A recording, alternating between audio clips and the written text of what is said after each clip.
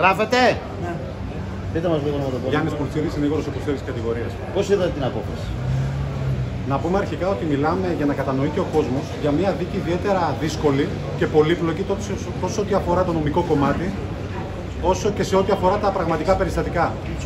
Θα σας πω χαρακτηριστικά ότι για τον κόσμο είναι δύσκολο να καταλάβει νομικές έννοιες, αλλά είχαμε έναν, εγώ θα το χαρακτηρίσω ευτελής ισχυρισμό από την πλευρά της υπεράσπισης ότι αντί για ανθρωποκτονία, σήμερα είχαμε να δικάσουμε μια περίπτωση θανατηφόρα σωματικής βλάβης.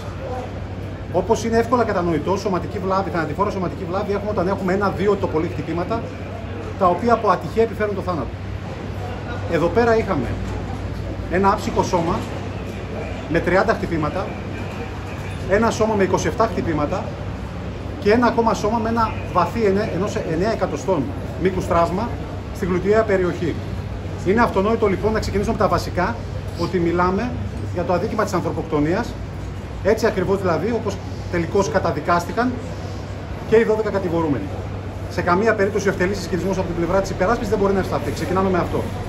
Ήταν επίσης δύσκολο γιατί οι κατηγορούμενοι ήρθαν εδώ με μια προσδοκία λέγοντας ότι θέλουμε να έχουμε μια δίκαιη κρίση, μια δίκαιη δίκη. Λες και θα δικάζονταν στο Ιράν ή στο Πακιστάν από όπου δικαστέ θα ήταν μόνο όχλος και θα τους πετροβολούσαν.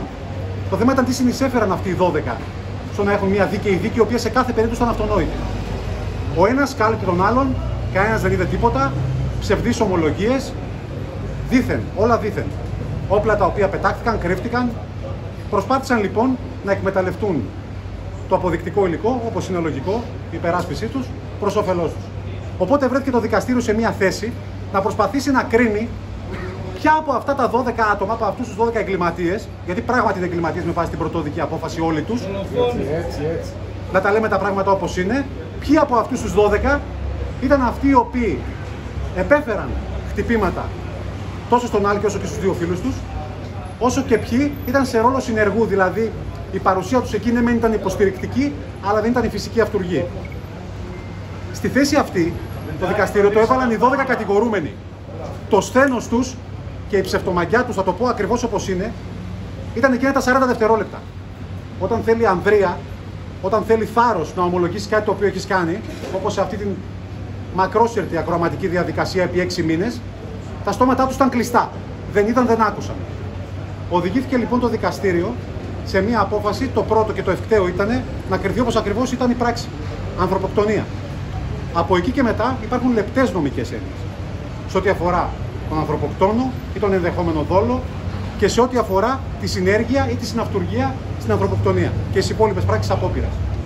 Να πούμε λοιπόν ότι εγώ τουλάχιστον, γιατί εγώ προσωπικά μιλάω αυτή τη στιγμή, διατηρώ, είμαι ευχαριστημένος φυσικά, γιατί αποδίδεται δικαιοσύνη και ηθική ικανοποίηση στι οικογένειε των θυμάτων, πλην όμως, σαν συνήγορος υποστήριξης κατηγορίας, δηλώνω ότι θα προβώ σε κάθε νομική ενέργεια, προκειμένου κάποιοι που χαρακτηρίστηκαν ως συνεργοί εσφαλμένα για μένα, αλλά δικαιολογημένα γιατί οι ίδιοι κατηγορούμενοι δεν προσπάθησαν να διαφωτίσουν το δικαστήριο. Και ξέρετε, είναι δύσκολο για ένα ποινικό πρωτοβάθμιο δικαστήριο να κρίνει αποδεικτικό υλικό χωρίς καμία, μα καμία συνεισφορά από την πλευρά των κατηγορουμένων, θα οδηγηθεί και σε κάποια μέρη λανθασμένα, εσφαλμένα συμπεράσματα.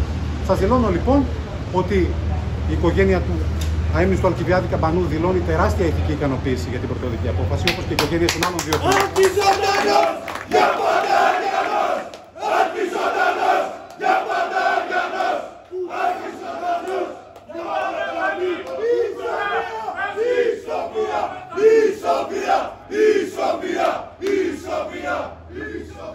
Θέλω επίσης να σημειωθεί...